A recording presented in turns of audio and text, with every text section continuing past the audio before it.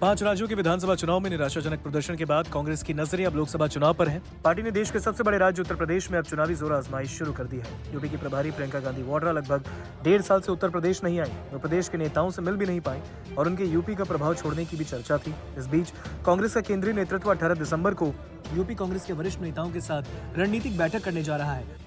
उत्तर प्रदेश में देश की सबसे अधिक 80 लोकसभा सीटें हैं और यहाँ पार्टी लंबे वक्त से अपना खोया जनाधार तलाशने में जुटी है। पिछले लोकसभा चुनाव में उसे अपनी परंपरागत सीट अमेठी में भी हार का सामना करना पड़ा।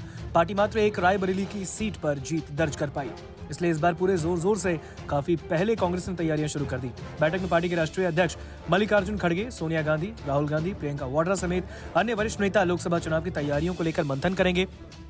खास बात यह है कि आगामी 20 दिसंबर से भारत जोड़ो की तर्ज पर यूपी जोड़ो यात्रा शुरू होने वाली है। इस बैठक में इस पर भी चर्चा होगी। प्रदेश अध्यक्ष अजय राय तमाम राजनीतिक गतिविधियों की जानकारी देंगे। पार्टी सूत्रों का कहना है कि सूबे में दूसरे दलों से गठबंधन और सीट शेयरिंग को लेकर भी खास विमर्श होगा। 80 सीटों में से कितनी सीटों पर कांग्रेस चुनाव लड़ेगी और दूसरे दलों को कितनी सीटें मिलेंगी? पार्टी सूत्रों ने बताया कि राज्यों में चुनावी तैयारियों के साथ जातीय समीकरणों को लेकर भी चर्चा होगी। आपको बता दें कि लोकसभा चुनाव में सीट शेयरिंग को लेकर आगामी 19 दिसंबर को विपक्षी इंडिया गठबंधन की बैठक है और इस बार कांग्रेस के सामने उत्तर प्रदेश में रायबरेली की सीट, बचाने के साथ अमेठी की सीट पर जीत दर्ज करने का भी बड़ा दबाव है। इसके अलावा गठबंधन में शामिल पार्टी सपा सीट शेयरिंग को लेकर कांग्रेस को आँख दिखा रही है और ऐसे में यूपी कांग्रेस के नेताओं की बैठक महत्वपूर्ण मानी जा रही है।